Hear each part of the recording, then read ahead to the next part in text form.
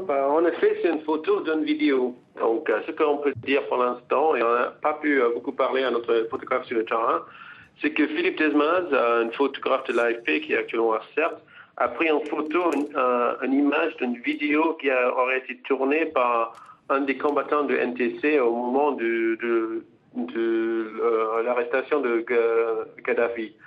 Donc, pour l'instant, ce qu'on peut c'est dire que c'est une photo prise aujourd'hui vers euh, euh, midi 20 à CERT de- d'une vidéo qu'un combattant se présentait comme une vidéo de Gaddafi. Donc pour le moment, vous ne pouvez pas certifier que, que, que cette photo est à 100% authentique, qu'il ne s'agit pas d'un montage. Pour l'instant, vous ne pouvez pas nous le confirmer. Bah, j'ai du mal à voir comment ils auraient pu faire euh, préparer un tel montage dans les délais, nécess- des délais nécessaires, mais pour être euh, pour, pour- être franc avec euh, avec tous vos téléspectateurs, Mm. non, on ne peut pas être à 100% À sûr. 100% Ce qu'on a diffusé, c'est c'est une photo prise d'une vidéo. Nous n'étions pas là nous-mêmes au moment que la vidéo a, été- a été tournée. Est-ce que vous avez une information sur l'endroit exact où cette vidéo a été tournée?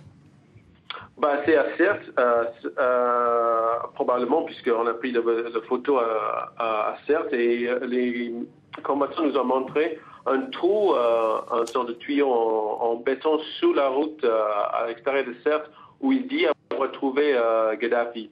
Effectivement, il y a des, des cadavres des, des soldats lo- loyalistes morts autour de ce trou, et quelqu'un l'a tagué en graffiti, voilà où on a trouvé Gaddafi. Mais encore une fois, nous n'étions pas sur place euh, quand il était sorti, de- quand il- quand il aurait été sorti de ce trou. Donc, encore une fois, il faut avoir un, un peu de caution. On n'est pas 100%, mais on a, euh, on a des, des images prises euh, de- d'un trou autour duquel il y a des soldats loyalistes morts, et les combattants sur place disent que c'est là où ils ont trouvé Gaddafi.